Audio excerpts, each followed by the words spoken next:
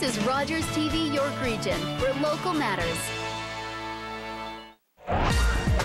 Hello and welcome to Community Connection. Coming up on this episode, our cameras were there as residents took part in the Drive for Hope. We'll introduce you to this year's Vaughan Civic Hero Award winner, and we'll take you inside the squared circle with Smash Wrestling.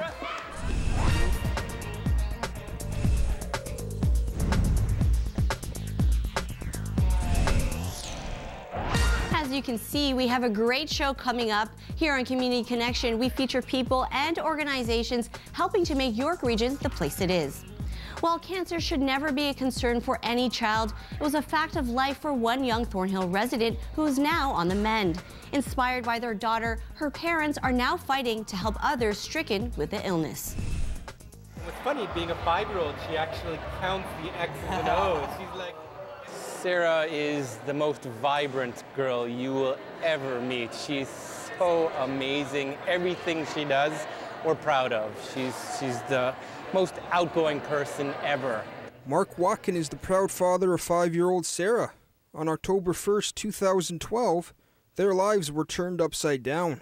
We were the most normal family ever.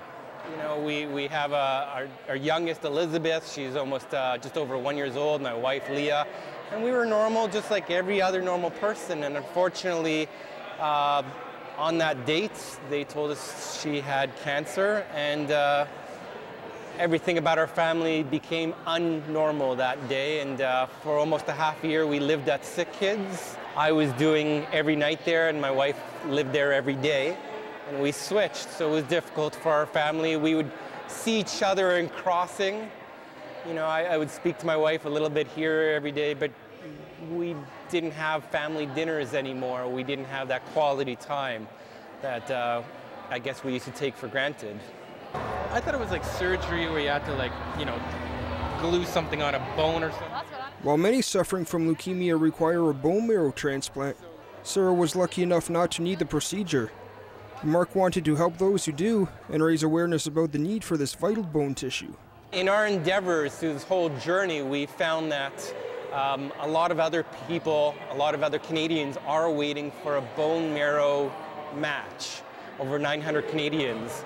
And we thought maybe we can raise some awareness. Every event that we've run so far has more than exceeded our goals. We've seen the young people, the old people, um, just beautiful to see. It makes me so proud being a dad, seeing every person that walks through these doors and, and know that they might be helping somebody waiting for a bone marrow transplant. All right, so you're here to become a bone marrow donor? Okay. Mark got some help from students at G.W. Williams Secondary School in Aurora recently. The school held its own bone marrow drive. Today I think we've been pretty successful. It's been a little quieter recently, but this morning we had a lot of people coming through. I think we've gotten close to 200 swabs done today, which is a really huge success. And Elizabeth says getting tested to see if you're a match is a lot easier than you might think. It is the easiest thing in the world. It's 20 seconds on each. You basically get a Q-tip, you put it in your mouth and swab the backs of your mouth. 20 seconds each. It takes just over a minute, and it's the easiest thing to help save someone's life. Cheek, so it doesn't matter which order you do it in, but the important thing is that one swab is just for one area of your mouth. So For this event, Elizabeth teamed up with One Match Canada, an organization matching donors with those in need of bone marrow. Not all people that joins the registry will have the opportunity to donate their stem cells, but everyone that joins the registry really gives hope to many patients and could be the very match.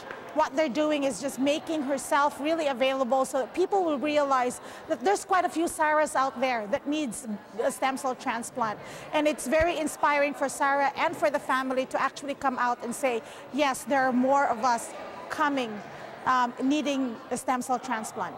If you weren't able to make it out to a recent swab event but still want to see if you're a match, Lillette says you still have the chance to participate. If they're not able to come over, definitely they can go online and register. It takes 10 minutes of their time, and then a kit is being delivered to the convenience of their home. As for Mark, he's just proud to see his daughter on the road to recovery. Today is a beautiful morning. She's, like I said, she's in remission. She wakes up, she has a smile. I wish everybody in Canada could meet her. I do. She's such a beautiful girl with so much energy. She's wonderful. I'm Michael Donnelly with your community connection. You are now on the donor registry. Perfect. For more information on the Drive for Hope, please visit the Rogers TV website.